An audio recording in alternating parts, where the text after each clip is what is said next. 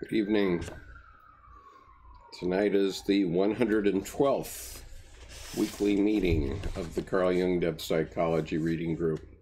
Welcome. Um, before I begin, let me remind you that I have a goal of having uh, more views from subscribers than I have from non subscribers. So if you will, I hope you'll uh, hit the subscribe button and also uh, share this YouTube channel with your uh, social networking. Uh, that will be very helpful for me. It's been especially helpful uh, when people have shared it on Reddit. So I urge you to do that. And um, Grenade says, yeah, police sirens. Yes, there were. Um, they do come. and uh, so welcome. The um, so one of the things we've been talking about lately, and in order to give us a little warm up time while people join the meeting, uh, I'd like to just read briefly. Uh, I'm reading from this book, What is Karma? What it is, Karma, What it isn't, Why it Matters, by Traleg Kyabgon Kyabgon. Um, so this is obviously a Buddhist take on karma. But um, mind you, uh, Dr. Jung felt that a lot of his psychology was quite parallel to Buddhism. And so I'm going to read this uh, little piece, or a bit of a piece. It's part of a chapter called Karmic Theory as a Possible Foundation for Ethics. And I think it's quite useful to us. So uh, I'd like to share it with you now. And then I'll come back to the main topic of the evening in our conversation uh, right after. So, subscribing to karmic theory does not entail denying the inspiration some people have gained from their belief in God and the good works they have undertaken because of it. A person's ethical inspiration may well come from such a source, and it is something looked upon very favorably from a Buddhist perspective. We can certainly ground our ethical and moral values in beliefs other than karma and lead a morally edifying life as a theist or as a believer in secular ideas for that matter. Nevertheless, karmic theory offers an alternative perspective, a different kind of foundation to the theistic and atheistic varieties, a foundation that actually makes more sense in many ways, as this chapter will argue. Good evening, welcome. To summarize very briefly, the theistic perspective in which there is an omniscient God regards our relationship to moral action as something that must take place in conformity to the wishes of the Almighty. If there is a divine plan, then all is created in accordance with this, including the physical world and our mental world, and it is up to us to find and work out our role within God's natural law. By doing so, by following Scripture or the Word of God, we prosper, but if we resist or deviate, we suffer. This is not a foreign idea even to Hinduism. Philosophically speaking, such thinking does not actually result in moral behavior. Acting in accordance with what we perceive to be a universal divine order is not being moral or ethical, but is simply obeying the rules which does not constitute a moral act. To act morally, we have to make choices. It comes down to weighing up decisions. Should I do this or should I not? Our desire is pitted against some other overriding consideration. Making decisions within this context of choice is being moral. Many theistic ideas on how to behave make no reference to such a choice. Secularist ideals fare little better as a foundation for ethical conduct. To take the very prominent ideal of human rights and justice as an example, though many have tried, no one has yet been able to build a firm ethical foundation on these premises. The most brilliant minds in Western philosophy and social science have failed to make a significant inroad. John Rawls was unable to do so in his classic A Theory of Justice, and neither was Jürgen Habermas in the area of political science and social philosophy. Commonly, it seems to be expected that the notions of justice and rights will be self evident, but this is definitely not the case. They are far from self evident. They are actually based on very flimsy grounds. Typical of ideas of this type, they are highly ideal in nature. What might constitute justice, for instance?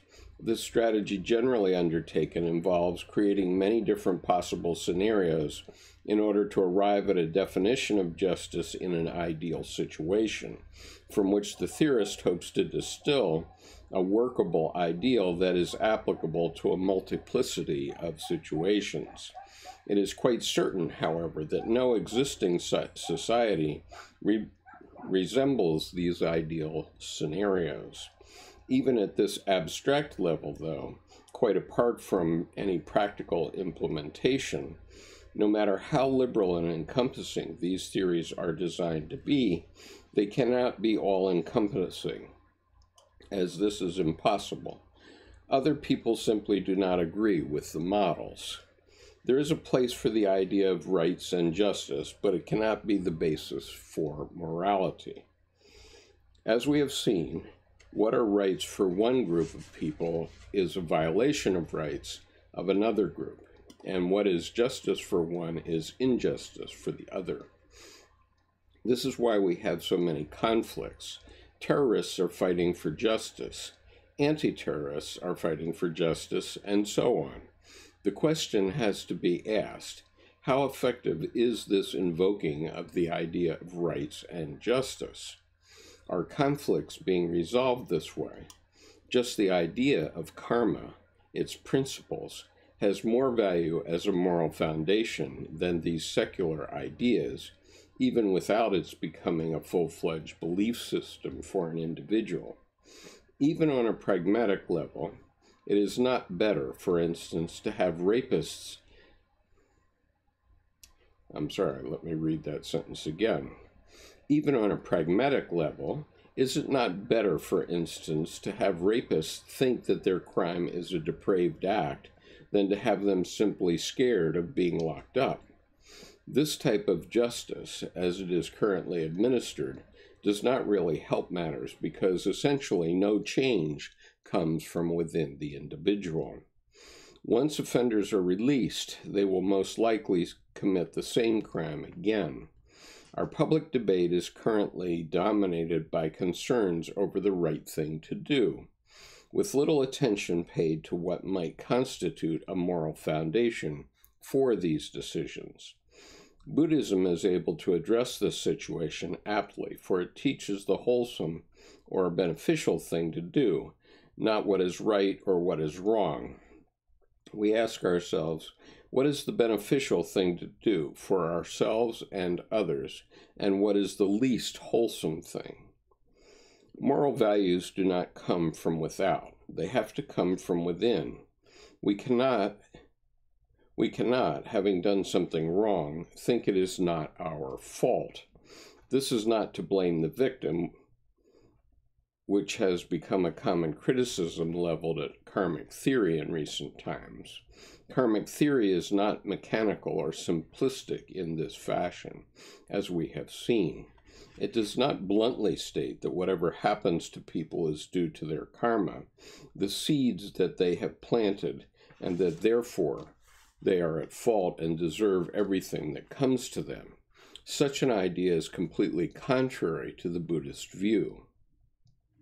Also, of course, since Buddhism does not recognize an independent agent, there is also no independent moral agent that acts with full consciousness. A person who acts in full consciousness would be an enlightened being, a Buddha, in other words. But since Buddhas are uncommon, Most of us do stupid things out of ignorance, and as such, we are not as fully responsible for our actions as we would be if we acted in full knowledge of what we were doing. Some people may have a secret agenda at times, a real sense of premeditation and deliberateness, but that is a different matter. If we were to act in accordance with such an agenda, we would indeed face the full brunt of the karmic consequences that would follow. Mostly, though, our motivations are not so clear. We still suffer from the things that we do in ignorance, of course, but not in the same way. There is a wide range of possibilities based on intentionality, as we have seen. If we hit and kill a deer while driving, for instance, we are less karmically responsible than if we were to shoot a deer while hunting. The real distinction to be made with respect to karmic theory is that it relates directly to human nature and how we should interact with other human beings. Morality is grounded within an understanding of our own nature. Fundamentally, we should be moral because of the kind of beings we are. This is a most decisive advantage to the karmic approach.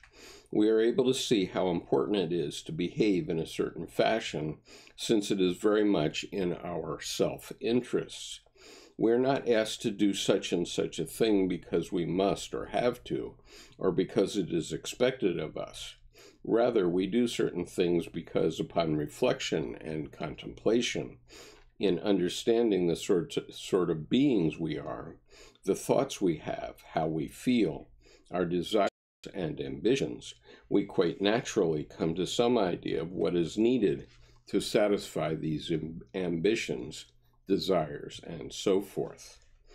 Morality, in this way, is intimately tied to our own sense of selfhood and identity. Therefore, when we behave ethically, we are being true to ourselves, and when we behave unethically, we are being untrue to ourselves. In being true to ourselves, we are creating good karma, and when we are untrue to ourselves, we are creating negative karma. Normally, we think of unethical behavior as scheming, scamming, lying, and otherwise deceiving other people in one shape or another.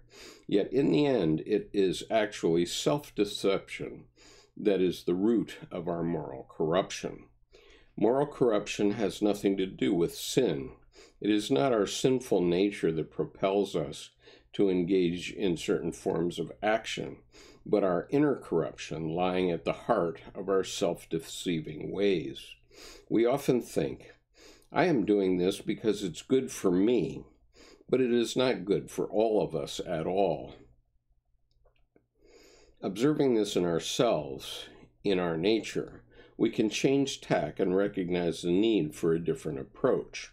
Oh, okay, I should go about things differently if I am to get ahead, if I am to leave, lead a more fulfilling life. There must be another way. Doing things the way we always have is self defeating technique, most often. It is not bearing fruit, nor will it. It is more useful to see ourselves as a work in progress, as opposing to having to find a real me hidden away somewhere. The Buddha placed no store in the idea of going on some kind of metaphysical quest for the self. He thought it to be futile, in fact, a wild goose chase. He thought a more practical approach to finding oneself was required. We begin to see and understand ourselves in terms of our nature, our very elastic human nature. Okay, so that's uh, the end of this brief reading for warm up. And I've been reading for What is Karma, What It Isn't, Why It Matters uh, by Traleg Kyabgon. And um, I do not proselytize Buddhism, Christianity, Islam, um, Shintoism, or any other faith system. Um, and um, I believe that we can take the good pieces from all uh, religious traditions. And so I'm always interested in figuring out uh, what the best approach is to things. And uh, so I'm not here proselytizing anything either. I'm just giving you the benefit of a discussion of how morality is formed. And as you see, there are other things from the uh, theistic or the uh, atheistic points of view that may also work well enough. Um, so I'll take a look at your comments now and then we'll go on.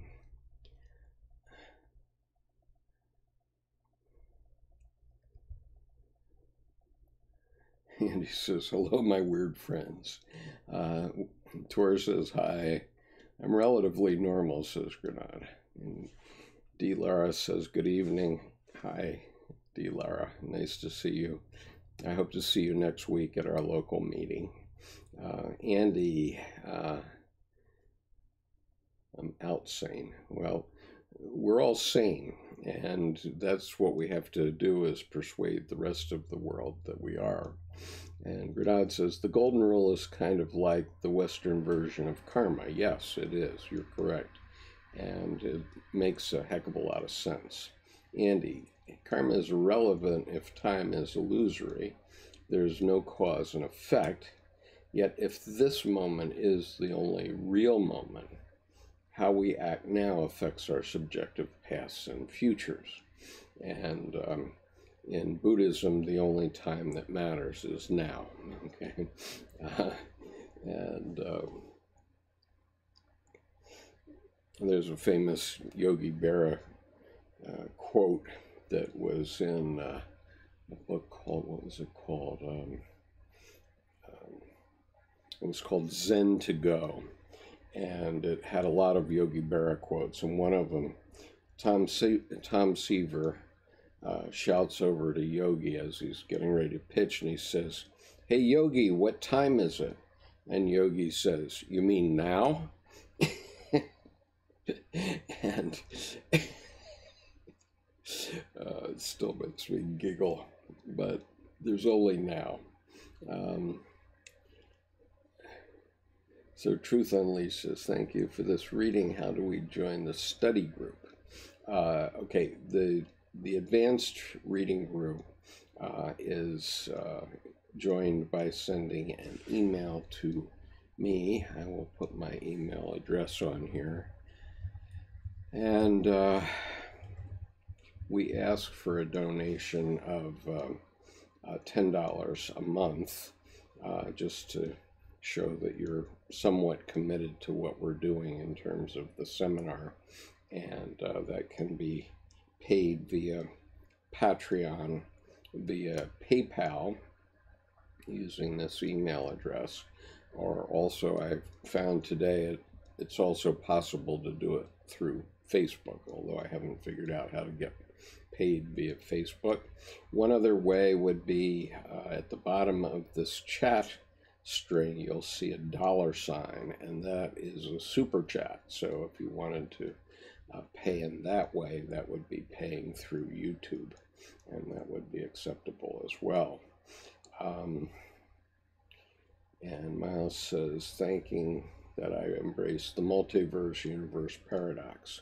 Well, uh, we have uh, 7.5 billion uh, universes going in society at any given moment. Okay, so in the last week, um, I have read into the system um, this book, uh, The Mystery of the Coniunctio, Alchemical Image of the Individuation of Individuation by Edward F. Edinger. And so you'll find that in about 10 videos and also highlighted in a playlist on the YouTube channel. Uh, I urge you to take a look at that because the images that appear, and this is the first image right here, which is called the mandala fountain. Um, the images in this book are uh, alchemical images, and the significance of these alchemical images to Dr. Jung was that these images came spontaneously from the unconscious of medieval human beings. And they came up at a time before what he calls epistemological criticism, meaning that they came up before people were, there were critics of the artwork, before there were people saying, no, this isn't right, and that sort of thing for whatever reason, whether it be a religious reason, a political reason, or whatever. They were simply expressing things that were in the unconscious from a raw point of view. And so, what Dr. Edinger has given us in these 10 images then is a cycle of individuation or development. And that cycle can apply to um, not only the individual, but it can apply to the development of a relationship uh, in a marriage or any relationship between two people.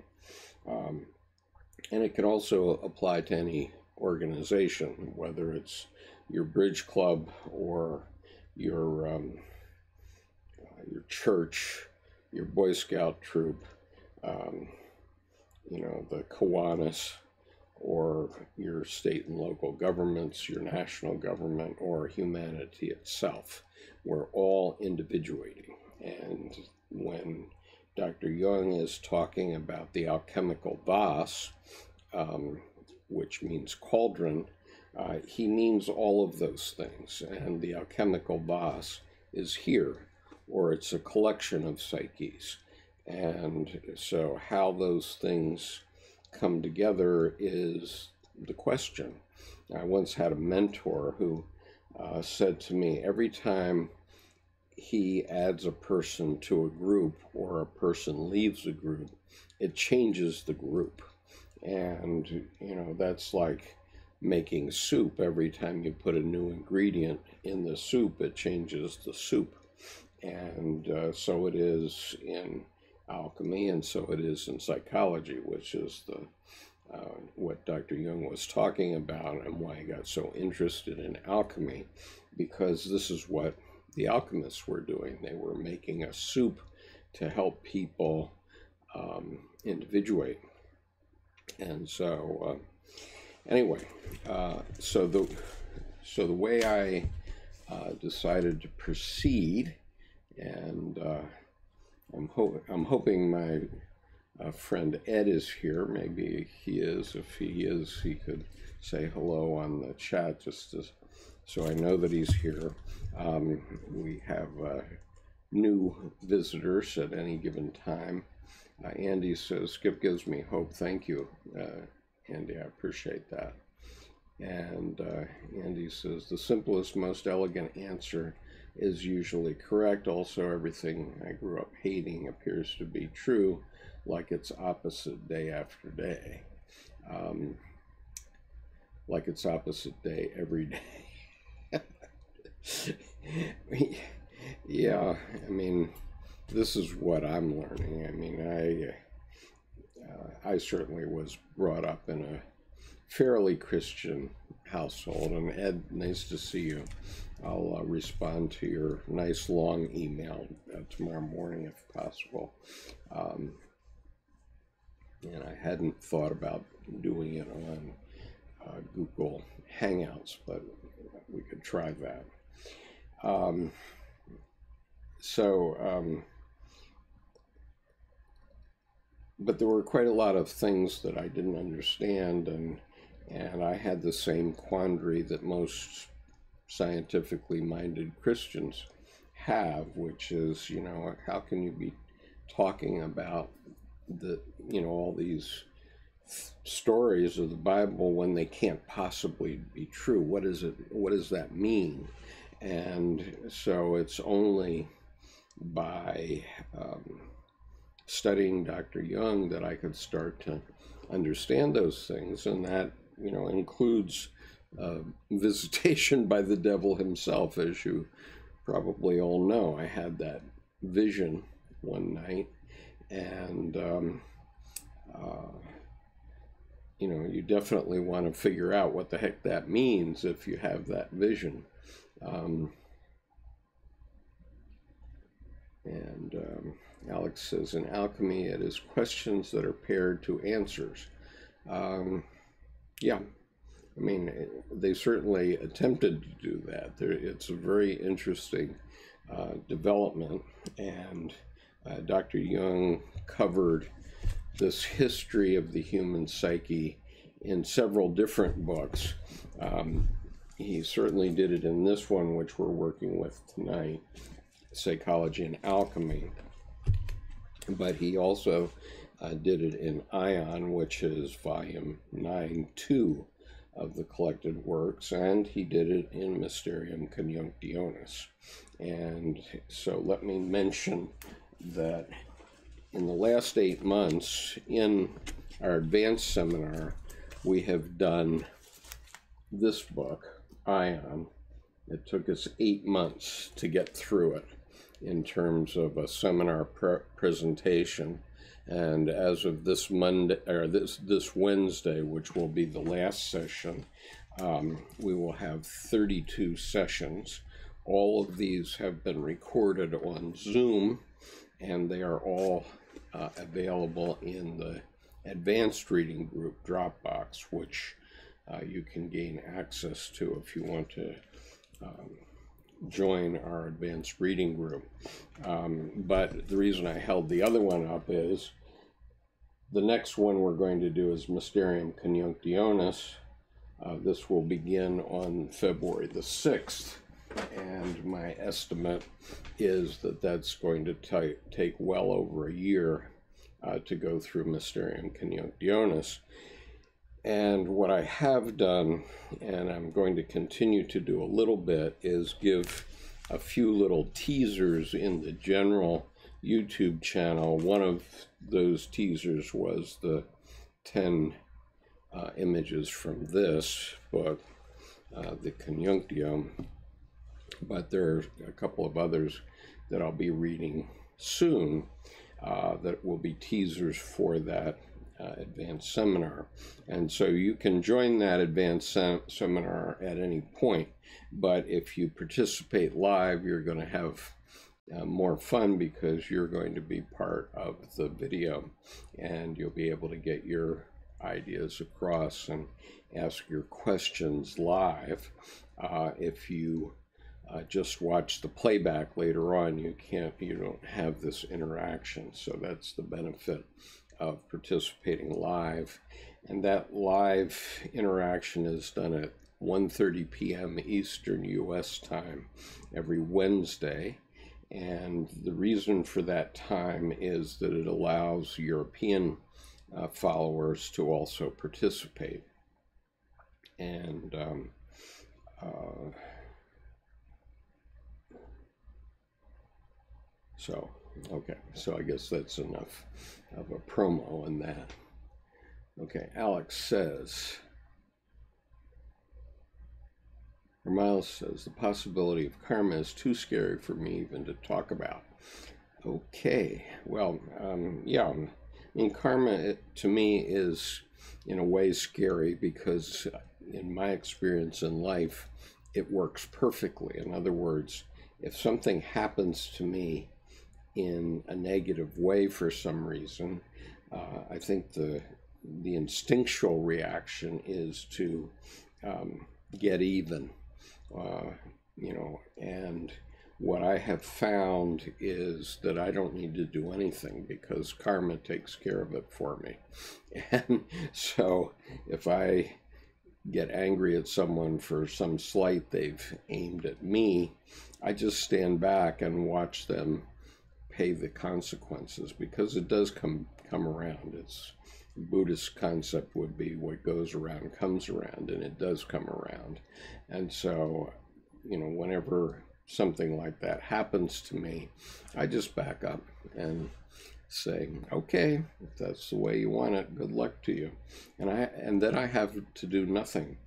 Uh, Alex says, one must not abstain from paying ransom to one's dead in emulation of the changeful. The psychological manifold is simply modeled after the effects of the zodiac wheel, as in alchemy, it is similar, i.e., it belongs to the essence of forward movement.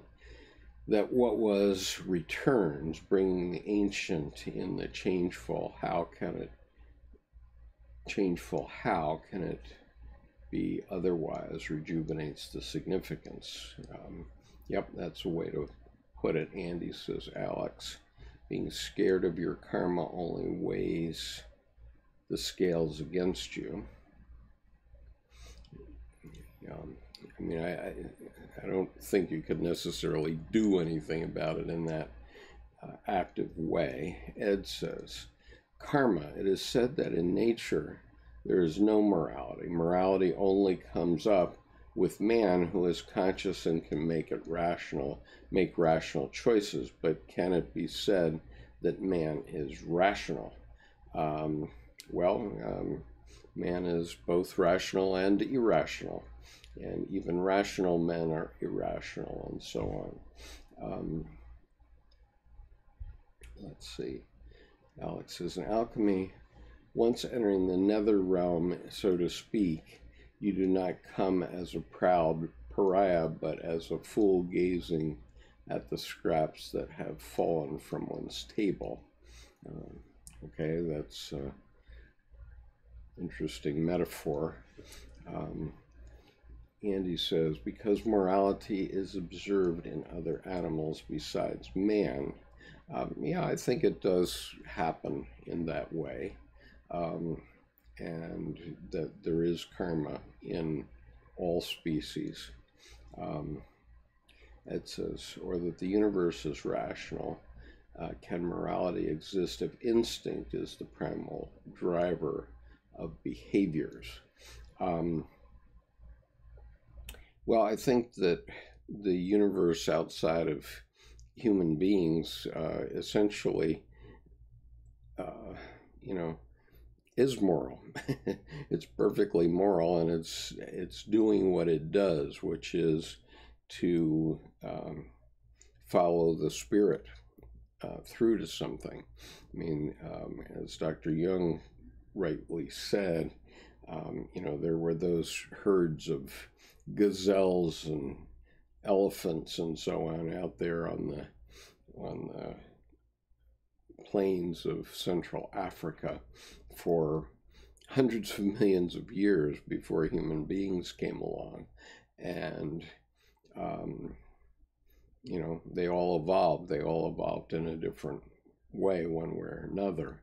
Uh, but it's only we who can change our evolution at some level.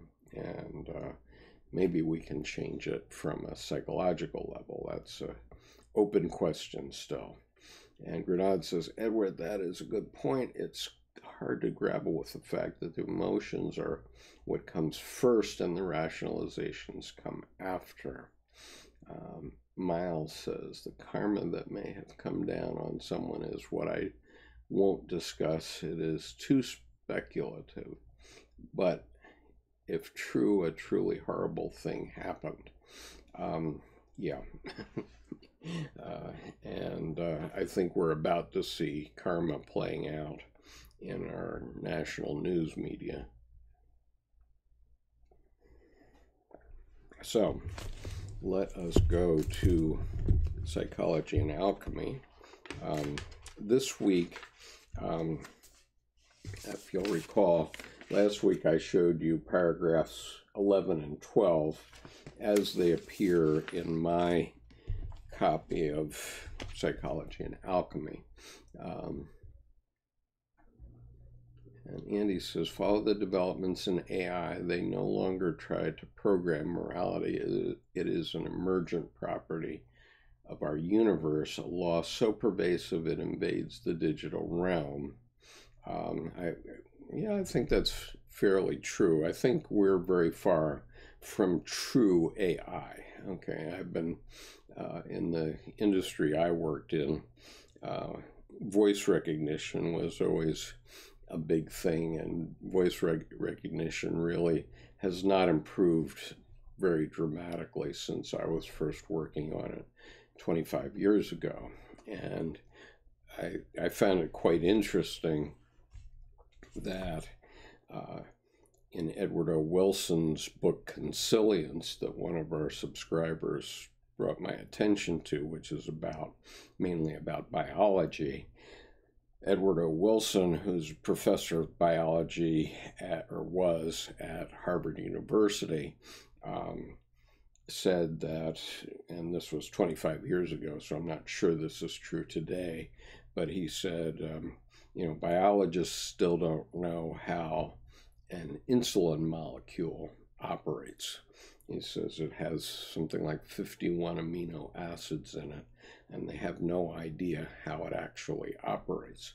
And so, if biologists are that far from understanding how um, how uh, living things operate, I think we're very far uh, from having that go over to artificial intelligence. I think we can probably create the devil's cauldron with some things we do with what we think is art- artificial intelligence, but real artificial intelligence is going to be a long way away.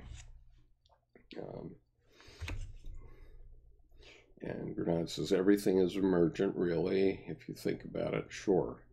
Uh, Andy says, yes, sir. Alex says, set the egg before you, the God in his beginning, and behold it and incubate it with the magical warmth of your gaze. When it hatches, one must not confuse privilege with competence. Um, I suppose that might be a, a, quote from the Red Book. I'm not sure, Alex, but um, you know that's uh, you know things emerge from all of us all the time. So I want to go back now to these two paragraphs of uh, psychology and alchemy. And uh, what I was pointing out was these are the two paragraphs in my book, and they actually go over to the next page. So Dr. Jung was in the habit, according to Edward Edinger, of uh, putting a psychic fact in each paragraph. So each paragraph represents a psychic fact. And so psychic facts are um, are more like um, uh, well, let's see.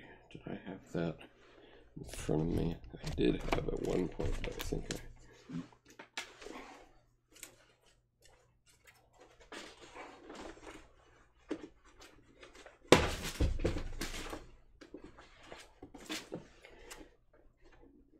I'm lucky, I found it. Let's see. Ah, yes. Okay, so here we go. Uh, this is another alchemy book. This this book is uh, The Anatomy of the Psyche, uh, Alchemical Symbolism and Psychotherapy by Edward F. Edinger. And uh, so he has a chapter in here for each stage of the alchemical process. And so in um, each stage, this is an example of coagulatio. And as you see, it has many different roots. And if you've ever taken a poetry class, you'll know that the way to write a good poem is to take your central idea and put it in the middle of a diagram like this, and then put every different association you can make to your original idea in the image, and uh, then you'll have a good poem that will uh, hold together. And so that's the way psychic facts work, also, according to Dr. Edinger, and I have no reason to doubt him since he was the leading Jungian analyst of the late 20th century. I really have no idea what crashed down there. Oh well, I'll get it when I get up. um, okay, so in order to get into uh, these two paragraphs, we have to talk about the soul for a minute. And there is a, an eight page long definition of soul. I think I actually read it into the channel. Uh, I don't have the uh, I don't have the link just now. Although I suppose I could see if I can find it. Uh, let's see if I can find it. Um, not sure. I should be able to tell very quickly.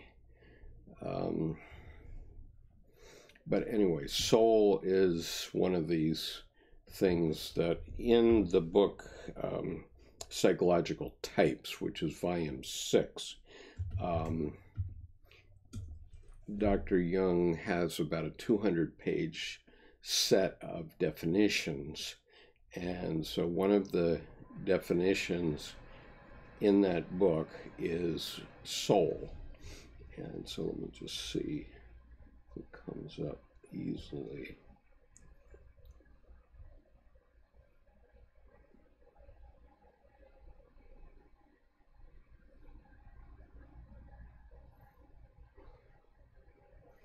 Um, doesn't seem so. Anyway, um, so if you go into volume six, into the end of it, you'll find this very long definition of soul. And, uh, ah, here we go. Definition of soul and soul image.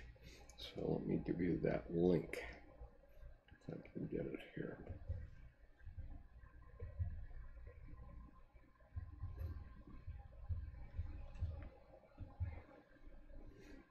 the question is always if I leave the live stream page, will you still be there when I come back? And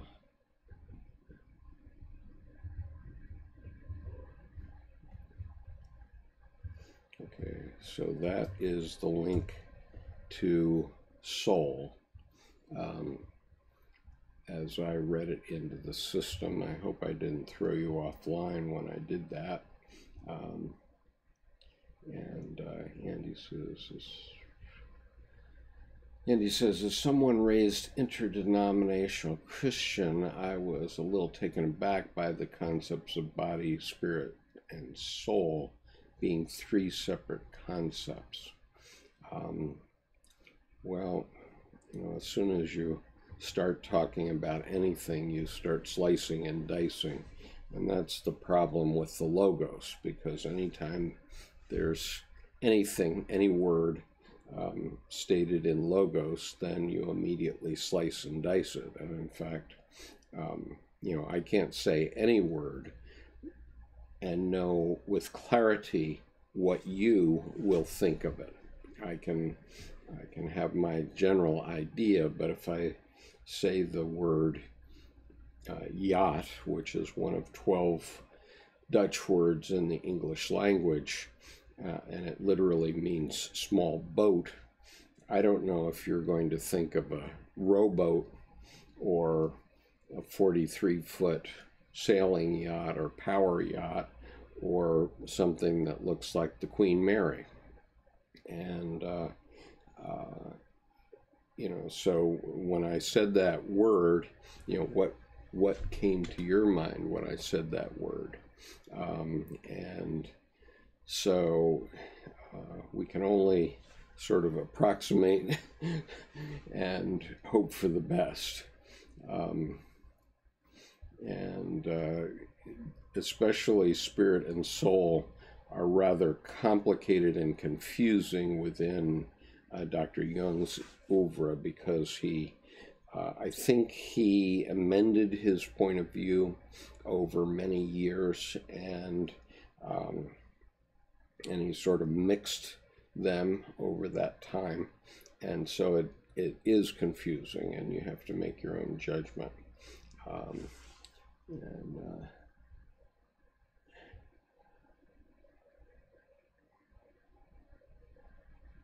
okay, so Andy says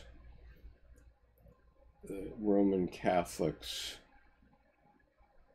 edited the meanings of soul spirit and body so that plebeians would, wouldn't get confused. I suppose so.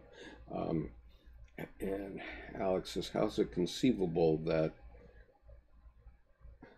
uh, Greek word signifies both the auspices of the notion of the incantatory spell and that of a poison? What kind of apotropaic feedback inhibition is this? Well, all things are their opposites. And let me just say, and this is a good time to mention it since Alex has um, dazzled us with his erudition by writing in Greek. Um, there is a Greek alphabet available on uh, the World Wide Web, and Dr. Edinger um, highly recommended that if you're going to get into Dr. Jung's work, it would be a good idea to um, memorize the Greek alphabet, which is fairly simple and would only take you about an hour.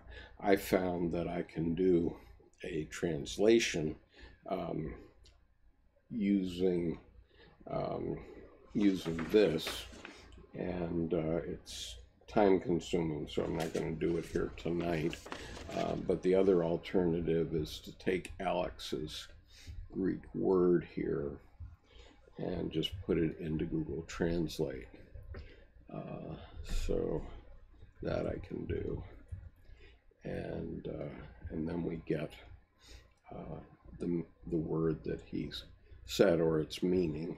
Um, and so let's give it a go since I have Greek set up here. And the, the translation of this word, which is pharmakon, makes good sense. Pharmakon is medicine. So um, thank you, Alex, for uh, making us look that up because it reminded me to talk to people about the Greek alphabet. Um, the logos lies behind the definition of the mysteries, i.e., it was lost, but yet its very function still constitutes its form. Well, the logos does create form, and just ask Jordan Peterson, and he'll tell you how it saves us from chaos. But the problem is that uh, there's no life in the logos, and if you look at um, if you look at paragraph 50, uh, 63, paragraph 63 of Aion, which is volume uh, 9 2 of the collected works, paragraph 63, you'll hear what Dr. Jung thinks about zoological criticism of the platypus. Okay, so you can in a zoological textbook or encyclopedia or anywhere on Wikipedia, you can have a definition of what a platypus is. But Dr. Jung's point is that um, the platypus himself is untouched by anything that you say in the logos about him. Uh, the platypus simply is and goes on living his life.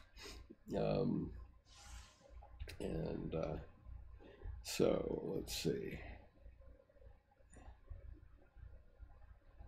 Alex says, This magic is dangerous. Every serial sequence distills a distinct potion, regardless of one's naive intention for a synthesized unio oppositorum, even the one which elevates and debases the spirit of the times. The contraries might not engender the opposites, but neither do the complementaries. Uh, is Aion the one and the same with Phanes then? I don't know.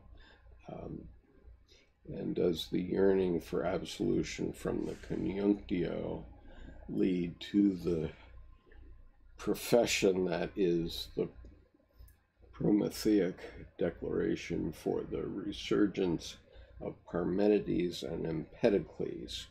Well, I would say, um, I would say uh, that um, it was Peter Kingsley that uh, resurrected Parmenides and Empedocles, and otherwise they would be lost to us in time.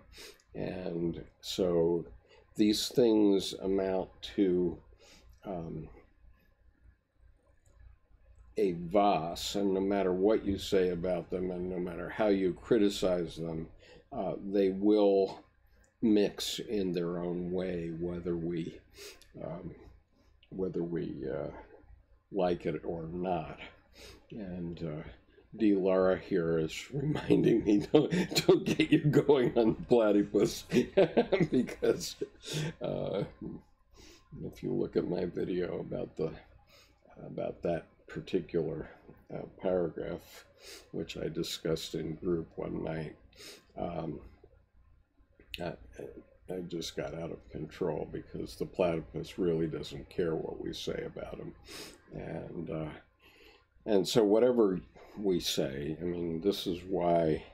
Um, this is why Representative Scalise could say when Steve Bannon came over to the uh, House of Representatives to order the GOP caucus to do a certain thing, um, Steve Scalise, who was the he's the minority whip now, um, and he's the man who was shot at the softball game that time.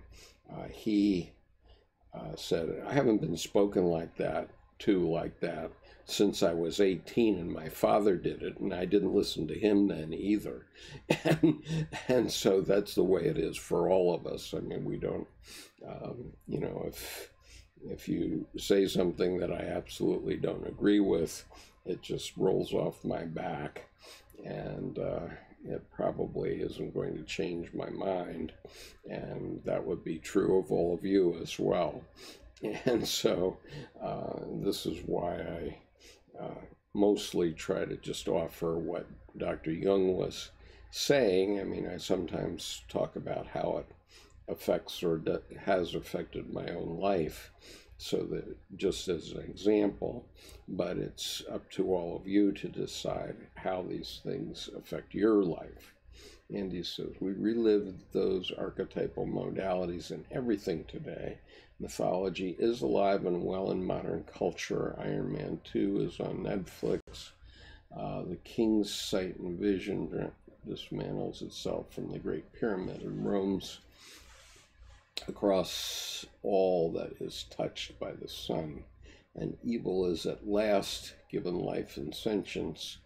The tree has now obtained the ability to extend its roots and dismiss all unnecessary manifold comprehensions except that of direction. Truly, one saves one's God from certain death by means of integrating him into fantasy. Well, I would say also by means of integrating him into ourselves. But uh, it so happens that I uh, did bring up a. Um, one of these pre-human uh, ideas so that um, uh, you can get an idea because we're going to talk about archetype in the next paragraph. And so here is, this is the archetype of mother. Uh, this is a, um, this is the Decorah eagle, and she's on her nest in Decorah, Iowa. And even th- though she had the snow coming down upon her, she has three eggs under her, and she will not move. You can see just how um, committed she is to keeping her eggs warm. Uh, and that is probably the most powerful archetype in the universe, and that's the archetype of mother.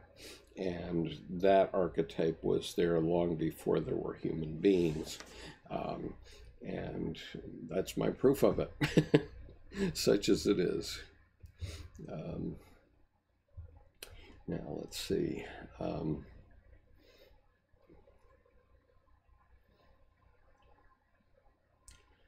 Andy says you better stock up on Parmenides and Empedocles books real fast for this to quantify in any way as a resurgence. Uh, okay, well, I'm not into that, Andy. Uh, uh, and I'm not urging a resurgence per se. I'm what I say, and the reason that I do this channel is because Dr. Jung's writing has been helpful to me in my psychic development and uh, my life for the last 32 years. And, um, and I felt so strongly about how much it has helped my life uh, by reading this work uh, that I started this channel. And, um, you know, if you or someone else wants to talk about Parmenides or Empedocles, um, that's fine by me. I have no objection. Peter Kingsley uh, wrote a whole book about it. Uh, and for my lights, uh, the the book came down to uh, one point at the end, which was that um, the priests of um, pre Christian era Greece and southern Italy, um, where these men were involved, uh, were actually early psychotherapists. That's my um, reaction uh, based on on what Peter Kingsley was saying. Um, and so, whatever. And so Miles says, I, instead of talking about the logos of the platypus, bring up the logos of nuclear weapons pointed at us on Hair Trigger and Polite Company at a luncheon and see the reaction of the faces people need Jung definitely and he says people actually need governmental funded frontal lobe lobotomies. Uh, well, I'm sure uh, the certain members of our government would be happy to give them to all of us. And uh, they've certainly tried by um, removing social studies from the uh, curriculum in many public schools, uh, but they didn't. Uh, they didn't reckon with the idea of the World Wide Web and the fact that now we have uh, first graders who can read anything they want. And so recently I saw a story where I think it was a seven year old uh, who was. Uh, uh he was going to go into the second grade and also graduate with some college degree at the same time. So I think uh, we're all at different levels of development, and we have to uh, figure out where that goes. Um, and uh, Andy says Steve Bannon, perhaps wanting to give us the lobotomies. Ed says, uh, but we, the people, appreciate your best efforts, Skip, to save us. Well, I'm not trying to save much of anyone. Um, I I think that we all have to save ourselves, and um, if we think more deeply and reflect more deeply, uh, we're going to understand that. And so there have been a couple of requests put on me recently or one request, which was that I speak on one evening uh, about my experiences overseas.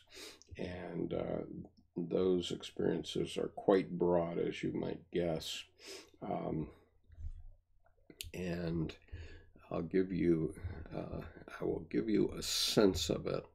Uh, let me see, where is that? Okay. Um, I wrote this essay about one of my experiences in Turkey, and you can take it for what it's worth. Um, and um, if you want to know some of the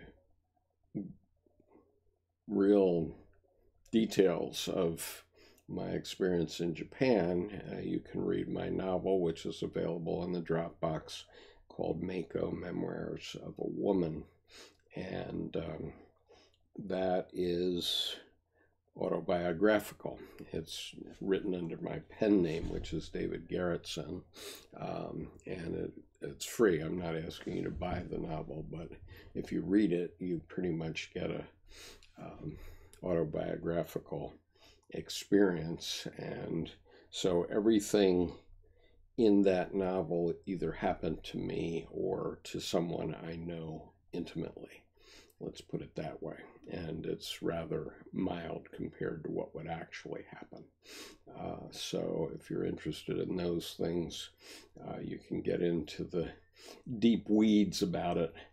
Um, and uh, Andy, no, I've never read The Black Pullet. What is, who is the author?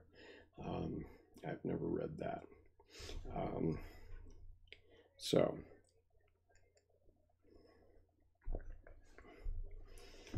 So, I, as you see, the name of my essay is I Am Guilty, I Am a Provocateur, and um, I am still that, which is what this YouTube channel is all about.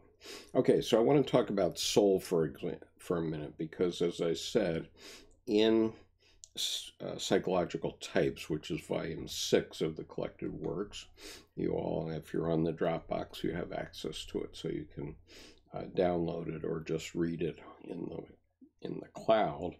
Uh, there's this definition of soul, and let me give you uh, a few aspects of the idea of soul, as I've shown you these clusters that Dr. Jung had in mind as psychic facts.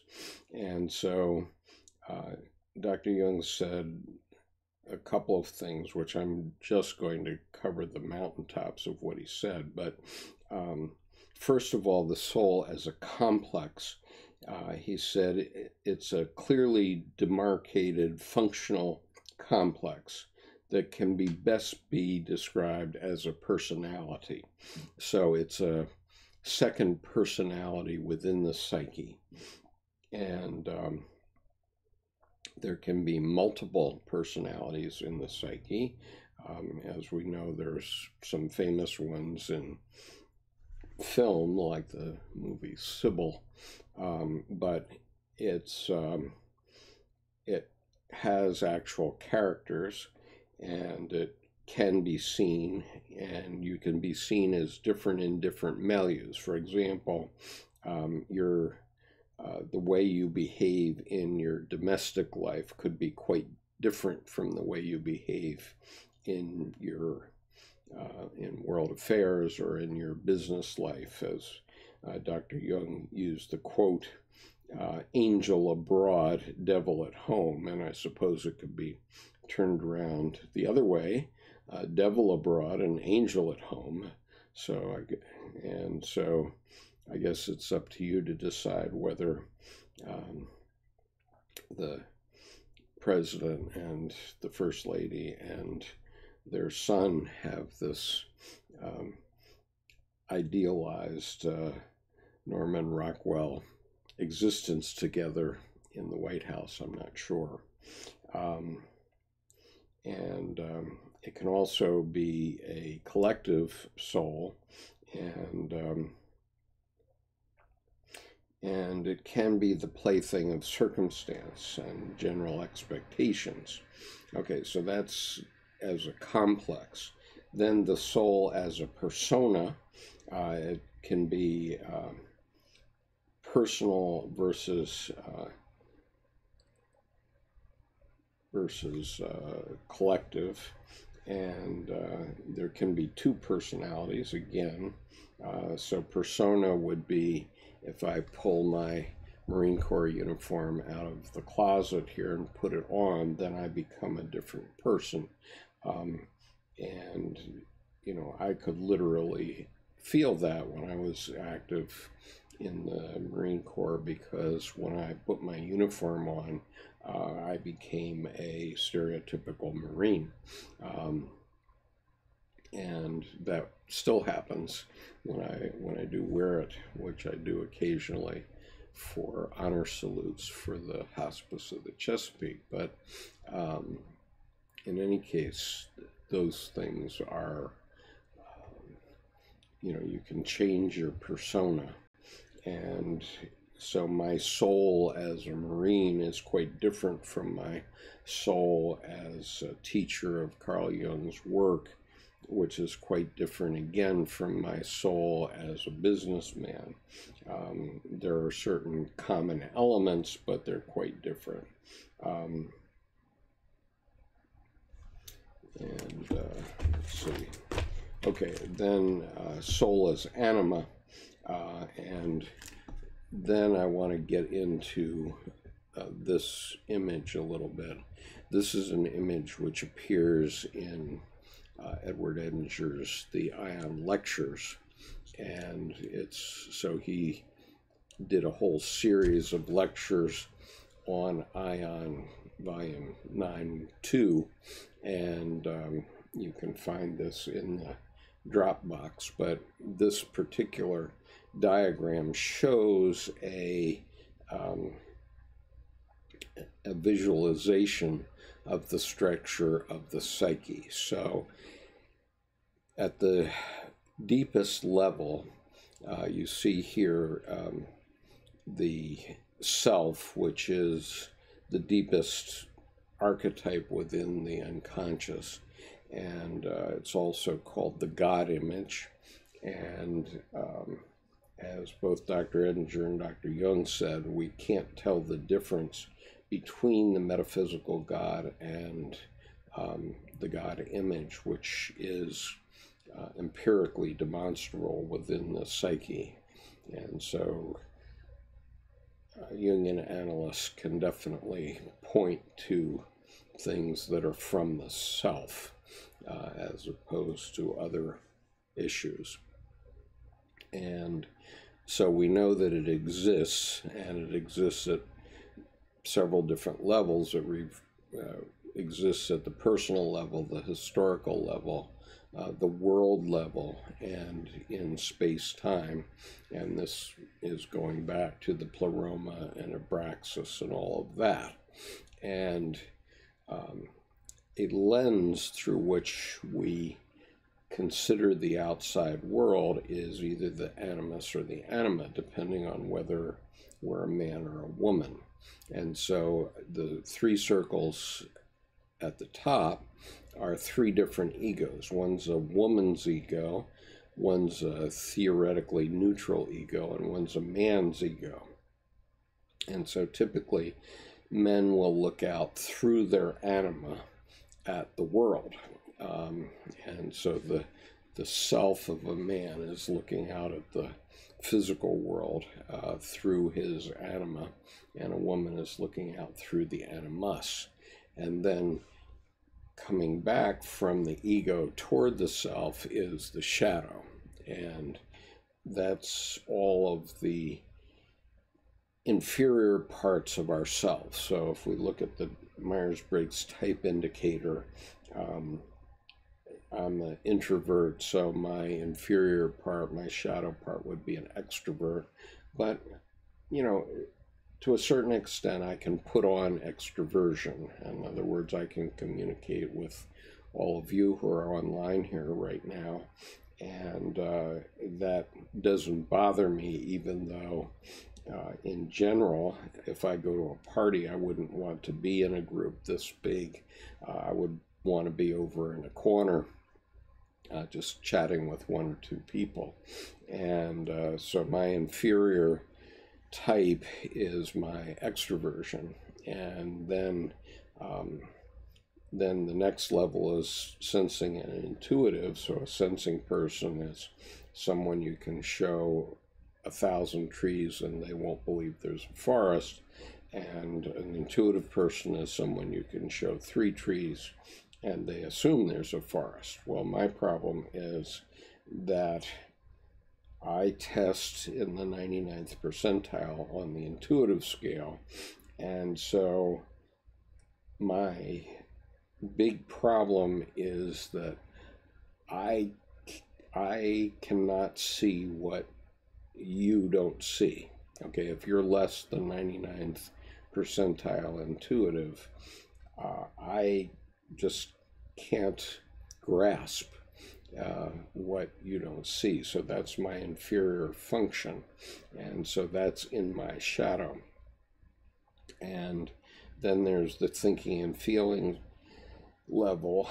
And I'm a thinker and most and you know most men think of themselves as thinkers per se uh, although the testing suggests we're about equal men and women thinkers and feelers um, but um, you know, Dr. Jung was constantly working from the feeling side. He was he.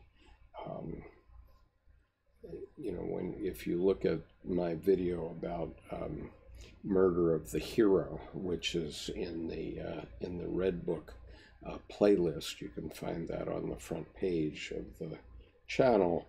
Um, Dr. Jung had a hero in mind, which in German men a hundred years ago was Siegfried, and he had to. Um, he had a dream about Siegfried in which he killed this hero, and he thought of that as his highest um, being, and yet when he killed that superior um, type that was within him and many other German men, um, then he could experience the feeling side. And much of his work emerges from the feeling side then after uh, he was able to overcome the strength of his primary um, type. So uh, whether he was a thinker or feeler at the beginning, it's not very clear, but because he was a, a scientist and always wanted to see himself as a scientist, um, I think that he was probably primarily a thinker at the beginning, but he was able to transcend over to the feeling side, and that's what his work is about. And then um, uh, there's the judging, um, perceiving type, which I've discussed before, where uh, a judging person needs a, a, list to go to the grocery store, and a perceiving person just goes to the grocery store and takes things off the shelves that they see, and both eat. And so there's not any right or wrong way in any of these, but it differentiates 16 different personality types. And because there are these four scales, you can be anywhere on those scales, um, and the person you're dealing with can be anywhere on those scales. So, in terms of your interaction with that person, um, you know, there's no predicting, but it certainly does help to understand uh, the Myers Briggs and um, the MBTI as it's called. And so I would urge you to, if you don't know about it, there's a free online test uh, that you can uh, take. I'll just put this uh, on the chat. Um, and people actually do give seminars that you go get trained for uh, a couple of days and for about 500 bucks or a thousand dollars you get trained and then you can give these seminars to uh, various places. It's a very good thing to do i think. I just never have had time to do it. Um, but um, it, it is a way to make an income if you can sell yourself doing those myers-briggs programs. Um, and um, you know the u.s military believes in this uh, test very strongly. Um, I went to four senior schools in the Marine Corps, uh, including uh, Command and Staff College, the Naval War College, and the National War College, and the Industrial College of the Armed Forces. And at every one of them, uh, the Myers Briggs was uh, presented uh, to us, and, and we were trained in it because it's useful in trying to lead a a group of men. So, okay, so Alex, I'm sorry I didn't get back to your uh, messages before you deleted them. Uh, And Malandab says Alexa has pretty good voice recognition. Yeah, she also makes some bloopers. Andy Oxide says we are pattern recognizing hairless bipedal omnivorous primates who are smart enough to recognize the Godhead, yet pride ourselves on denouncing existence itself. Uh, it is more futile, I guess, to presume that the self is a product of the pleromatic insolence, obedience, a cause of its projection, or foes, possible recognition of it project beyond the aforementioned biennial, biennial um, I don't know. I, I can't quite follow what you're trying to say to us, Alex, here. Um, and Andy says Newtonian reductionist thinking is the scourge of truly rational empirical thought. Um, alchemy holds up as good or better than modern science. Um, you know, I think both work. Obviously, we wouldn't have gotten anywhere near as far as we've gotten. We certainly uh, would not be having this conversation online around the world. And uh, I've had people access this channel from um, over 100 countries. So we would not be doing that without Newtonian reductionism and uh, the scientific method per se. But that doesn't mean we already know everything. We don't. And uh, as soon as you create a rigid structure, um, something seeps in to change that, and, and you can't uh, stop that. And that's called life.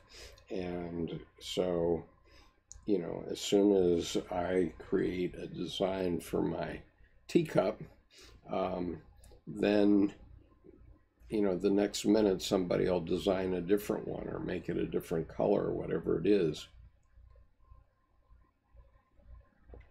And we have to allow for that. We can't say that life is rigid. Uh, but I think I've probably left the um, the structure of the psyche up long enough so that you can get the idea. And if you can't, you can go back to the replay and stop the video to see it. Um, and so, so my point, um, Andy, is that they both were, and we need to be sensitive to that fact. Okay, so now I've given you a sense of the soul image. So now I can go back and begin with paragraph 11. And so let me start to read it and we can talk about it. So and it's nearly a page long. I'm going to read a sentence or two at a time and talk about them. So, Dr. Jung says an exclusively religious projection may rob the soul of its values so that through sheer inanition, inanition, um, it becomes incapable of further development and gets stuck in an unconscious state. Okay, so the way I understand this, and the word inanition is a complicated one, so I'm going to put it on the chat. Uh, what what I think he's saying is that um, religious systems of whatever kind give us a lot of detail. And they fundamentally make um, what's in the soul seem not important and therefore inane uh, is the way he's saying it here. And so the, the soul, which is part of our psyche, uh, gets stuck and it can't change. And so uh, you could think of it as the religions flashbang us, and so that we, you know, we see this bright shiny object, whatever it is that uh, that we see, whether it's the Star of David or Christ hanging on the cross or whatever it is, and it makes it doesn't allow us to develop. And um, you know, I remember when I was a little boy, my parents, who were from different Protestant sects, were trying to decide what church to go to, and so they started to every Sunday try a different church. And one day, uh, my father dropped us off in front of the Catholic Church, not realizing that it was a Catholic church and therefore not Protestant of any sort. And my mother and we three children walked into the church and the three children were saying wow isn't all this stuff cool? You know? And and uh, and you know because there's statues and christ hanging on the cross and uh, the various other things. And um, and that was and so i can imagine that you know if you're if you get taken into the catholic church newly you can just have your your own psyche just overwhelmed by that and and so that's what Dr. Jung himself himself uh, says that happens, that does happen. Okay, now let's see, going back.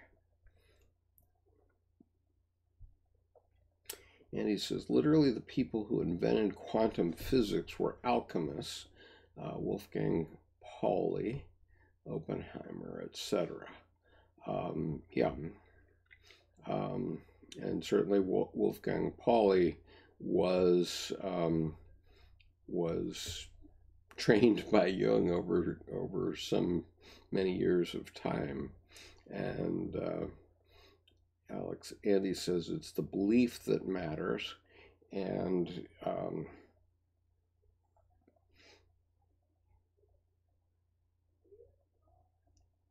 you know it just depends on what level you're trying to get to, Andy. And I, I, what I'm working toward is that Dr. Jung believed that the human species uh, was striving for a new level of consciousness. Okay, so when he, when he was asked whether he believed in God, and he said, "I have no need to believe, I know," and you know my epiphany at that moment was that I too know. And so, what do we know? Well, we know something that is beyond the teachings of any religion, okay? And it's a different level of consciousness. It's a level that you can reach through a religious experience. It, it happens um, actually in AA, for example. Uh, and if you've ever had one of these religious experiences, and there are a couple on uh, this YouTube channel under the Breakthroughs to the Unconscious playlist, um, then you know, okay? And then the need for a creed falls away, but um, but then you can realize that whatever tradition that you're used to following, that tradition can help you along your path of life because it is a refined method to reach the um, the ineffable okay and whether you understand that or not i don't know but um, if you get to that level of consciousness uh, you no longer need a creed, but the creed can help you. So, what my experience was is, was that as a Christian, I had lots of doubts, and uh, pastors that I tried to question about holes in the myths um, were ill equipped to respond to me. And um, I didn't understand why and um, and then I became a Buddhist, or I didn't become a Buddhist, but I started practicing Buddhist, Buddhism, and uh, my wife became a, a lay Buddhist teacher. Um, and so we have lots of uh, counterpart discussions between Jungian psychology and Buddhism. Um, but when I became a Buddhist, it made me a better Christian. Uh, and because Buddhism is not a competing religion, it's actually a philosophy of life, because there's no God, no saint, no sinners, no apostles, no right, no wrong, etc. And it's really much more like Jungian psychology. And so when I became a Buddhist, and started to practice meditation and so on, I became a better Christian. And when I became a Jungian and really got into studying Jung, uh, I became a better Buddhist and a better Christian. And so, uh, so it's not really a question of belief. It's either you know or you don't know. And if you have to have a belief, then you're not there yet.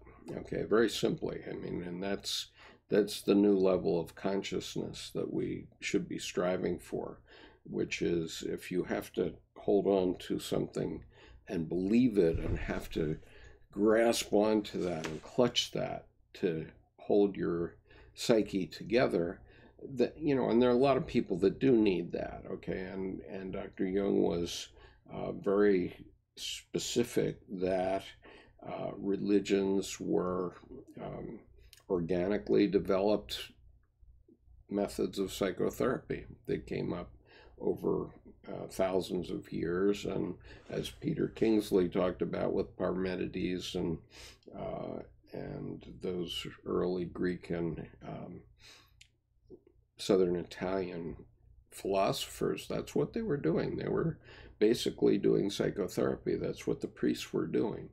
And and so there's been a need for it all along. They didn't know they were practicing psychotherapy at that time because we didn't even really think about the psyche until uh, about 200 years ago, let's say. Um, but, you know, William Blake knew it when he did his uh, when he, he did his Job engravings, for example. And uh, if you find on this YouTube channel um, the encounters with the self. Let me see if I have that link right here. Um, I I read um, I read into the YouTube channel Encounters with the Self by William Blake, what, uh, which Dr. Edinger called his um, portable analytic hour. Okay, and so here was William Blake uh, about um, 200 years ago uh, doing these these etchings which uh, let's see.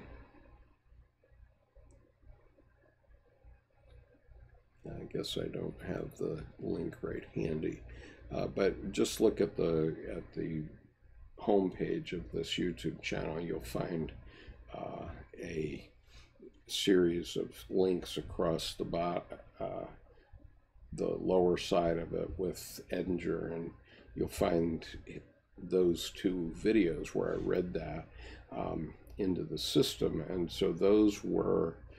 Um, you know, those came up spontaneously within William Blake over 200 years ago and long before there was a Freud or a Jung.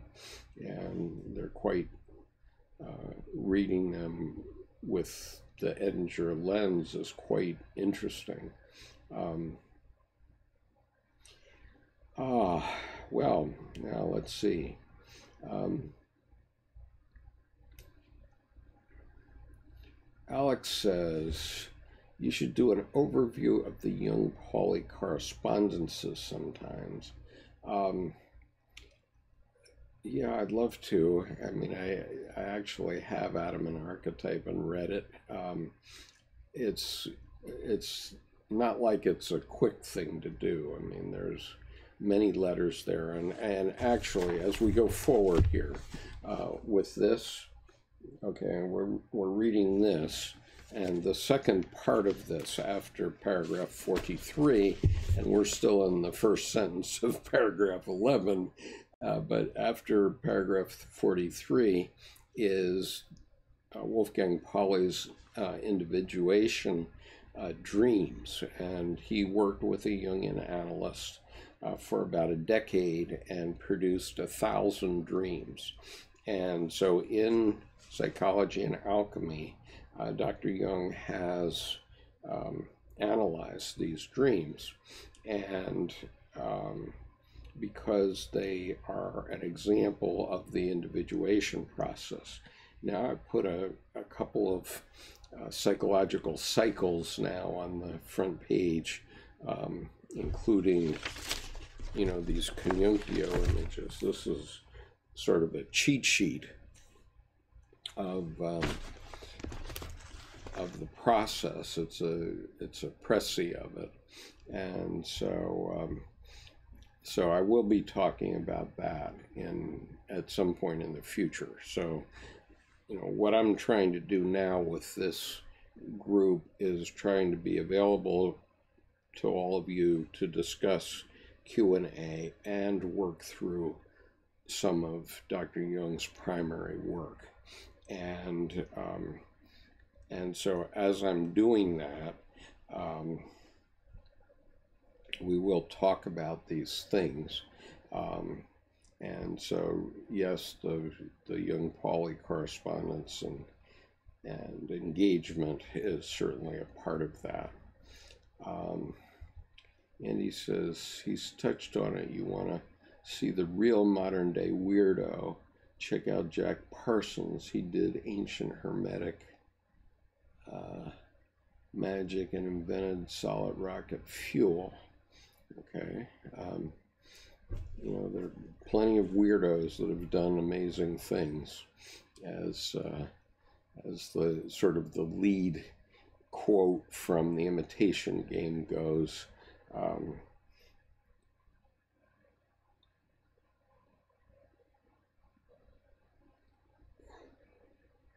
it's only people who, from whom no one can imagine anything coming who do things that no one can imagine. And uh, that's definitely true. Uh, and also shared a party house with Aleister Crowley and L. Ron Hubbard. Eventually founds Jet Propulsion La- Laboratories. Cool. Alex, futurity grows out of the one, out of one, one do not create it, and Yet one does, though not deliberately and willfully, but rather against will and intention. In this manner, we cannot reach the future. We artificially produce a constant present. Everything that would like to break into the present strikes us as a disturbance, and we seek to drive it away so that our intention survives. But how can I be more? My how can I be my own charity? Charioteer without will and intention. Well, you know, it's fine to be your own charioteer with will and intention, but what you need to do is understand what yourself is saying, because no matter what um, what your will and intention may be, if your um, if your self isn't going to cooperate with you on that, uh, then it's going to stop you. Okay, and you know this comes from paragraph 746 of Answer to Job, uh, where he's talking about the individuation process. And the individuation process is something that you can either do consciously or unconsciously. And um, what he says here paragraph 746 of Answer to Job. Something empirically demonstrable comes to our aid from the depths of our unconscious nature. It is the task of the conscious mind to understand these hints. If this does not happen, the process of individuation will nevertheless continue. The only difference is that we become its victims and are dragged along by fate toward that inescapable goal which we might have reached walking upright. And so you can have will and intention all you want, but if if yourself isn't going to cooperate with you on that, um, then you're not going to get there. And you know, my life is a, is a perfect example about that. I mean, my will and intention was to become a Marine Corps general, but one fine day, um, my psyche made me, um, let's say, careless on an icy uh, parking lot, and I went down and broke my leg. And 28 years later, um, last Valentine's Day, I had to get a new ankle because of that. And uh, I've lived with it ever since that day. Um, but that definitely ended my Marine Corps career. And you can say that that was, but that was just an accident. Well, yes, but your yourself has a way of uh, giving you accidents, and I'm convinced of Dr. Jung's definition of God, which I'll repeat for you here, which is God is the name by which I designate all things which cross my wilful path violently and recklessly, all things which upset my subjective views, plans, and intentions, and change the course of my life for better or for worse. Because if it's all will and intention, then you don't need God, okay? But but people can't live that way, and it doesn't work that way. Uh, you know, if it's all will and intention, then then um, you know our president would be having a fine old time in the White House and everything would be hunky dory, but it's not all will and intention, and so uh, you know he's regardless of what position you have res- with respect to him and his administration, you have to acknowledge that he's not having the final time he thought he would have when he was president. And so that's how, you know, if it was all will and intention, everything would be hunky dory and he wouldn't have fired all these people from his administration. Um,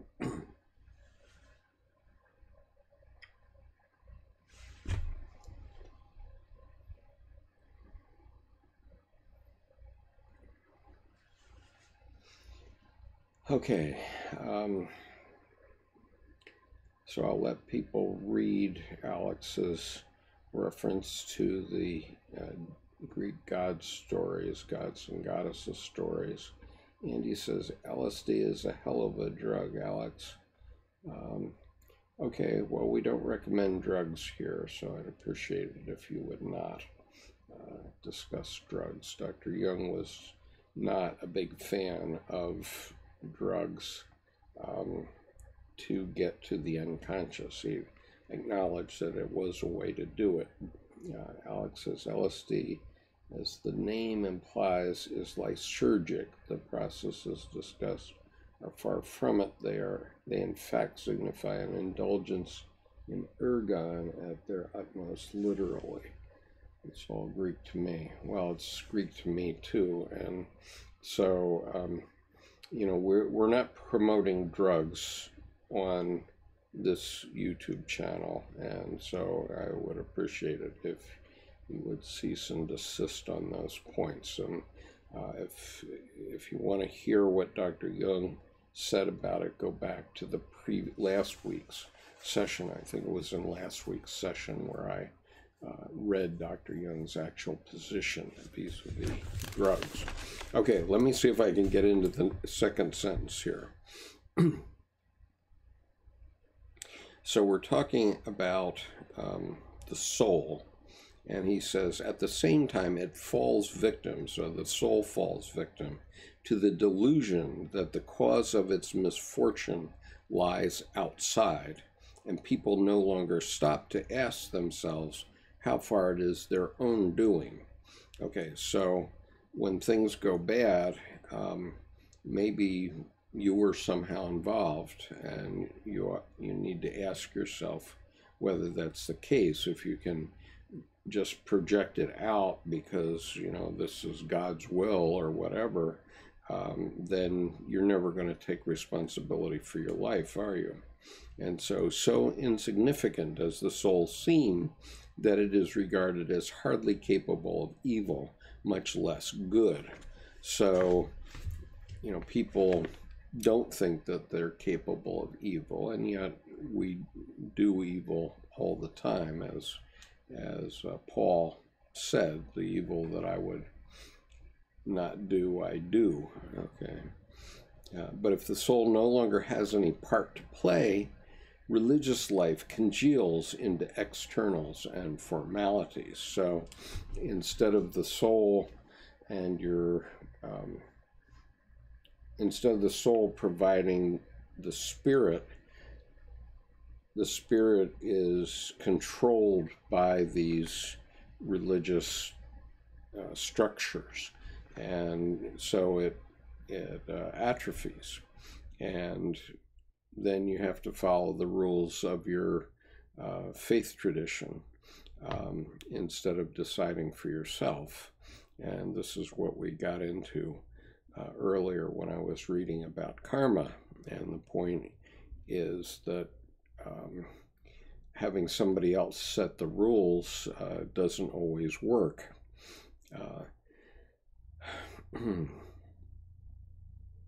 however, we may picture the relationship between God and the soul, one thing is certain that the soul cannot be nothing but. Okay, so the, there is something that is there. On the contrary, it has the dignity of an entity endowed with consciousness of a relationship to deity. Okay, so now we go back to uh, the structure that Edinger was talking about.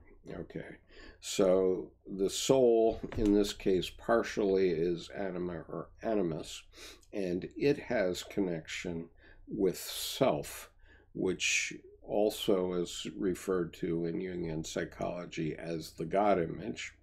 And keeping in mind that um, human beings can't differentiate between the God image, which is empirically identifiable in the clinical setting, and the metaphysical God. And so, therefore, everybody's anima or animus has a connection to uh, deity, relationship to deity.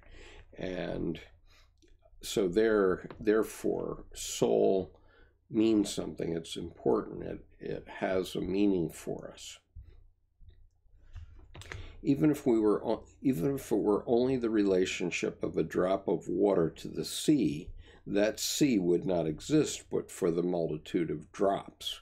The immortality of the soul insisted upon by dogma exalts it above the transitoriness of mortal man and causes it to partake of some supernatural quality.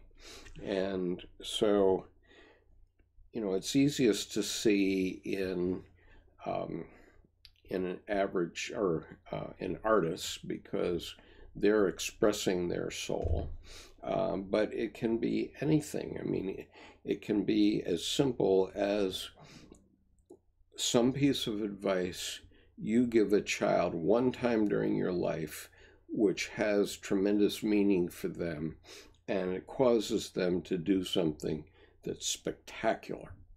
And uh, and you can't predict what that might be, but that's your soul having an impact on it. And I will give you a link to the trailer of a movie called Welcome to Happiness, which I really urge you to look at this movie. It's a very it's a very feel good movie. Ultimately, it's it's very it's very surprising in many ways. But I I, I truly love this movie, and uh, one of the good things about it is that it shows you how different things impact different parts of your life and the lives of others. And they may be minor things, they may be either bad or good things, but nonetheless, uh, they have a tremendous impact.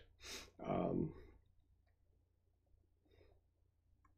And Alex, let's see. Okay. Um,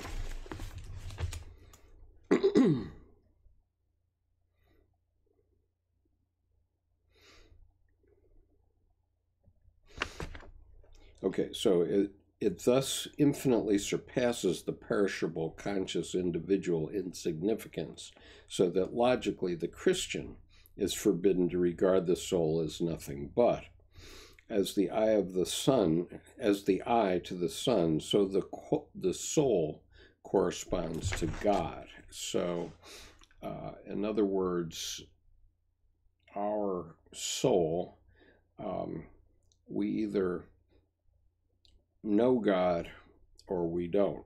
Okay, and uh, you can believe that there's a God if you're convinced by others, uh, but if you know God, then you've come to a new level of human consciousness. And that knowing is in the psyche. Okay, there's no puppet master up above us uh, guiding our lives. There's no puppet master that you can pray to that'll prevent you from having an accident tomorrow. Uh, if there's anything that's in your life that is going to prevent that, it's it's in you. It comes from you.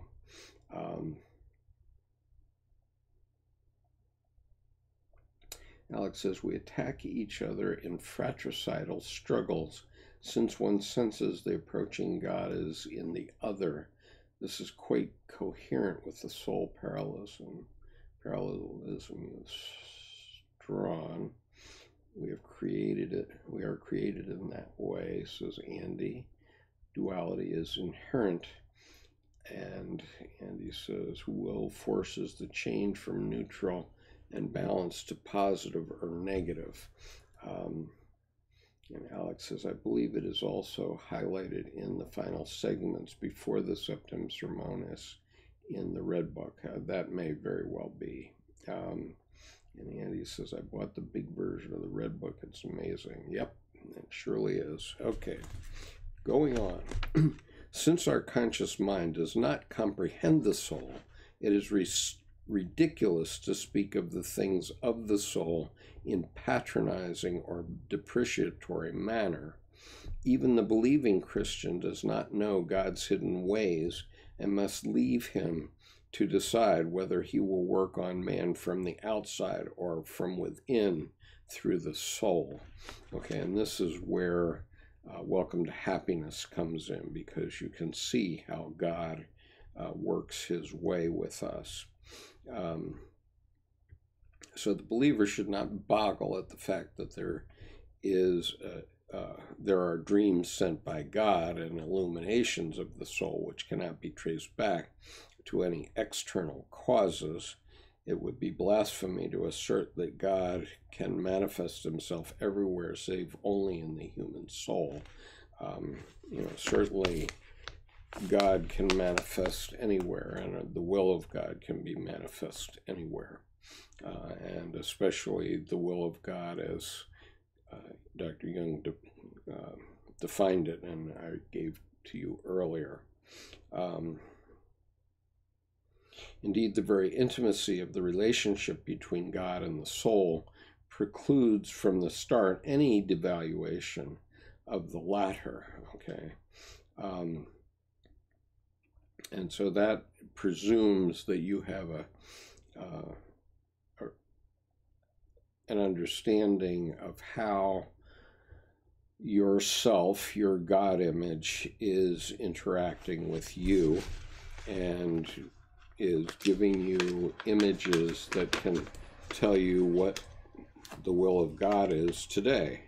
And, um, you know, I hear that every day nowadays, and uh, so I know it's there. Um, it would be going perhaps too far to speak of an affinity, but at all events, the soul must contain in itself the faculty of relationship to God. i.e., a correspondence. Otherwise, a connection could never come about. Okay, so um, you know, again, uh, with this image from Dr. Edinger, um, you know, the part of the soul as defined by Dr. Jung in this image is the anima or the animus. And as you can see, the it's direct. It's basically a lens over the the um, self, um, the God image. Okay, so this correspondence is, in psychological terms, the archetype of the God image. So, um, so this is what he's talking about, which is the self, and this is the way it appears. Now, when we're born, and there are other, an ego and archetype, which is another of Dr. Edinger's books, which you have access to. Um, Dr. Edinger gives some other diagrams where he shows how the ego slowly emerges from the self because when we're born uh, as infants um, we are wild animals and we are everything is self so as you know if you've been around little babies they're little gods and they're little kings and queens, and everything that they want, they have to get, or else.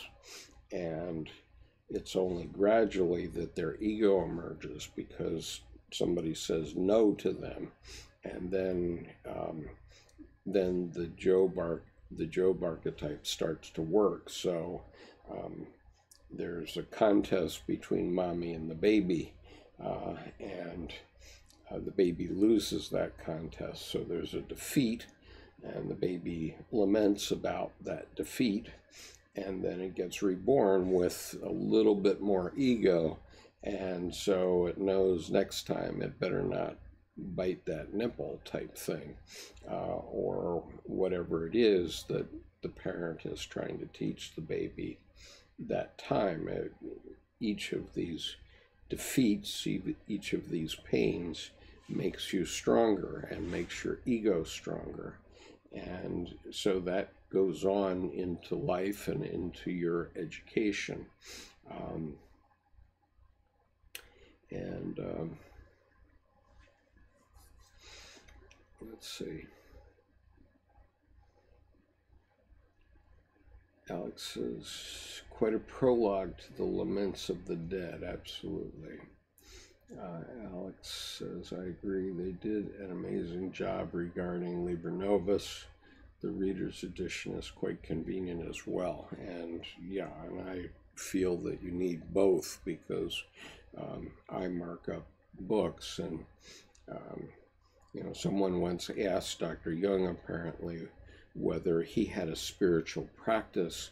And his answer was, My spiritual act, uh, practice is marking up books.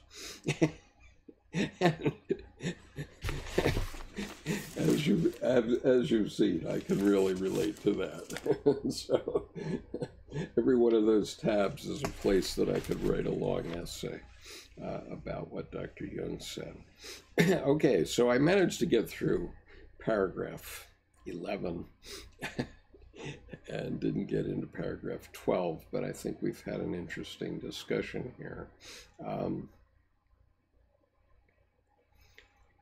and Andy says, Skip, do you think Jung's body of work is the end all explanation of, or perhaps a tool to push our understanding even further?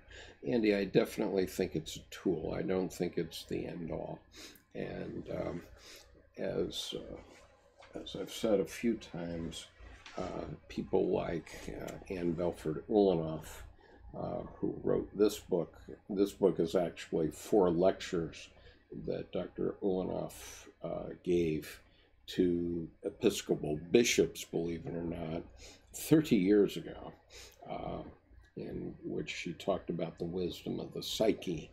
And, um, and this image on the cover, by the way, is an image by her husband, Barry Ulanov, who she also wrote six books with. She she's written 16 books so far, by herself and another six with her husband, uh, who apparently has passed away at this point. But um, Anne Belford Ulanov has taken Dr. Jung's work to another plateau.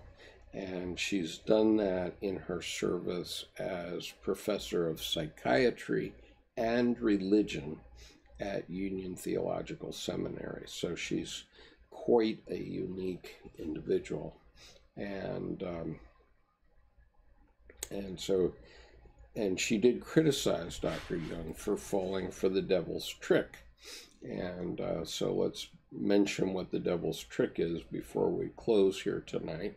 The devil's trick would be uh, if your child comes to you and says they're gay, for example, um, do you spend your time arguing about the pros and cons of homosexuality, or do you spend your time with what Dr. Ulanov calls first things first, which is how you hold your family together under that situation.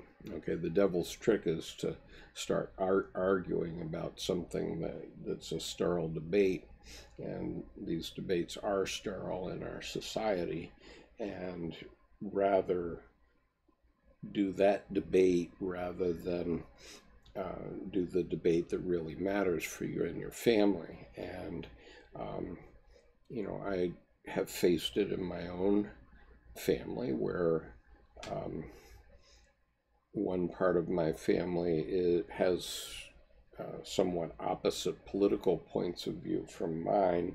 Uh, and uh, we did have one rankle. Um, for about an hour over the issue of abortion. And but after that, I said, "Stop! We're not going to discuss this, and um, we're not going to debate politics within the family because um, it will just destroy the family." And so, since we made that uh, commitment to one another, and, and we made that commitment before I read about the devil's trick. But um, it turns out that my instinct was the right one, which is that you know if you want to destroy your family, uh, go ahead and argue about one of these sterile debates. But if you want to um, have your family and have your grandchildren around you when you're my age, then you better not do it. And so Dr. Bel- Dr. Ulanov's point is that Dr. Jung stayed in his lane. He stayed on the psychology side of the psychology theology debate. And the point is that we have to straddle it, we have to provide a bridge between theology and psychology. And so that's what she has done in a lot of her writing. Uh, it's what I'm trying to do uh, because I do understand the value of organized religion now in that context. I can tell you that after my experience with Mephistopheles, I was quite angry uh, for quite some time. Um, and uh, and I was very upset with organized some organized religion in the United States. However, now I have come to terms with it um, because I see uh, what organized religion can uh, do for us, and so um, I now, um, you know, I I object to cultism and and religions that force you to do this or that, and um, and those are you know those are very those are very wrong, but those are also not truly religions in my view.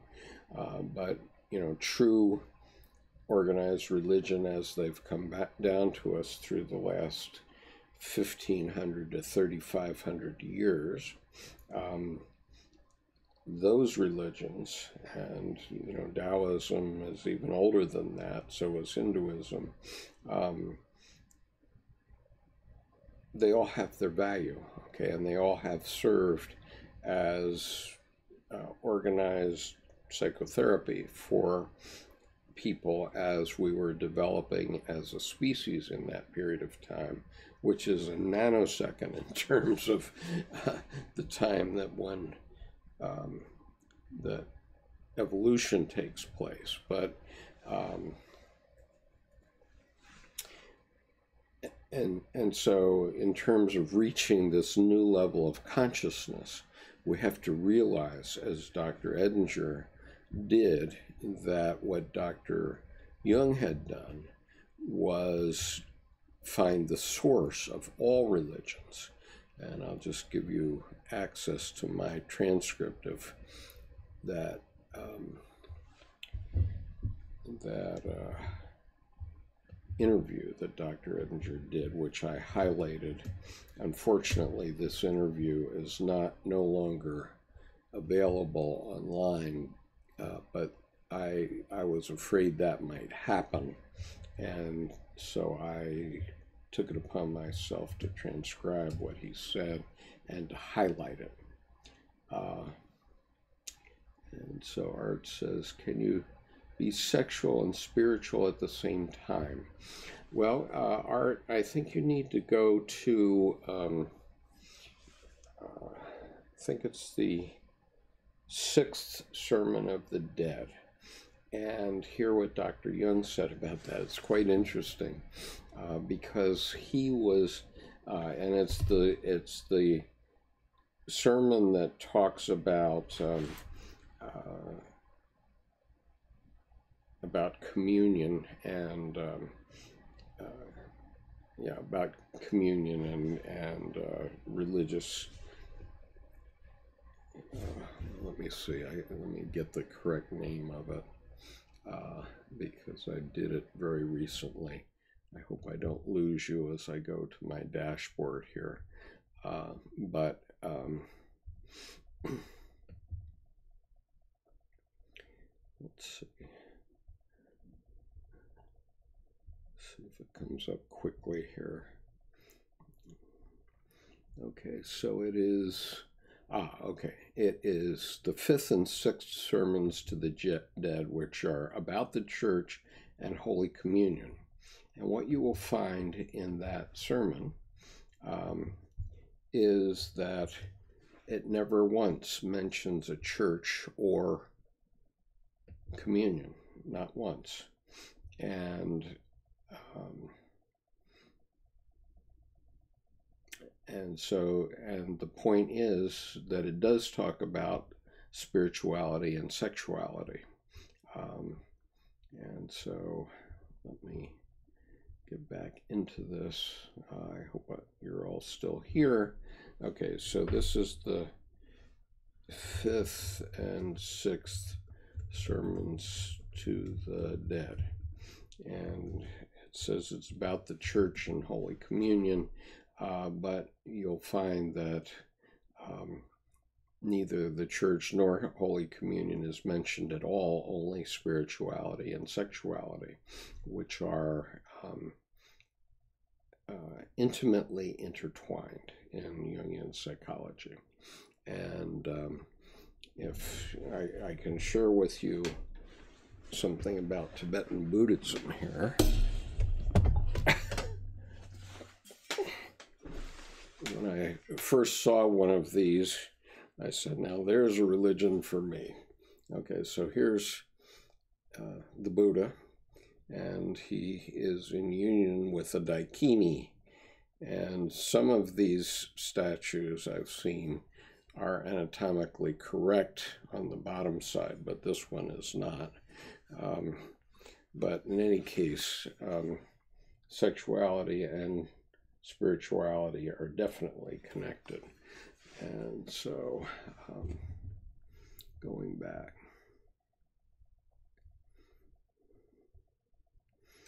And uh, Art, I, I also find that that sexuality is quite spiritual, I, and you know you probably have enough experiences like that too, so that you don't have to go uh, to Google for that. Um, okay, so um, we have been here for two hours. We have gotten through one paragraph of uh, psychology and alchemy. At this rate, we will finish psychology and alchemy in about 10 years. Um, and uh, but I do want this session to be more interactive and um, dealing with issues you may wish to bring up. And so I, I've been trying to do that more regularly. I hope you feel that that's the case. And um, and I am going to continue doing it using psychology and alchemy as a stepping off point. Now, in our advanced reading group, that is operated much more like a, a um, graduate school seminar. And we do that on uh, Zoom. And so it is an interactive uh, video conference. Uh, so everybody gets a chance to speak and uh, say their piece. So if you wish to join our um, our advanced group, I hope you will do that. Uh, we we never throw anything away, and so um, it, it, you can join anytime and see everything we've done from the beginning, although you won't be participating in it. And uh, I've finally figured out how to do uh, opening and closing credits. And so when I uh, when I change the scene here this next time, uh, I'll have my closing credits uh, up on the screen uh, so that you can uh, see those. Um, I do have uh, one producer uh, for, for this group, which I appreciate very much. And if others want to be included as producers, uh, you can find the method for doing that on the Patreon page, on my Patreon page. Um, and um, so, anyway, thank you for joining me uh, today, and I will see you again next week, February 4th. And uh, and for the advanced group, we will be having the final seminar on um, Aion on this Wednesday, where we're going to be discussing your reactions to the overall book and finishing out uh, Barbara Hannah's comments about Aion. So thank you for joining me this evening. I look forward to seeing you next week. And here are the closing credits.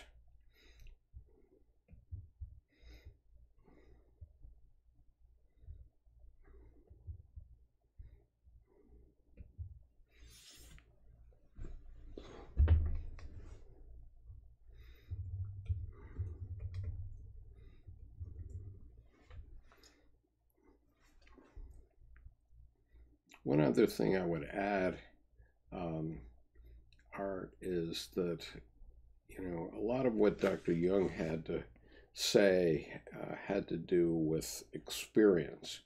And so, you know, Google's not the place to look for the answer to that question. Uh, the place to look for the answer to that question is with your um, with your sex, sexual and spiritual partner and uh, then you'll have the answer and you'll know. You don't have to have anybody tell you uh, what the answer is. And so anyway just leave it at that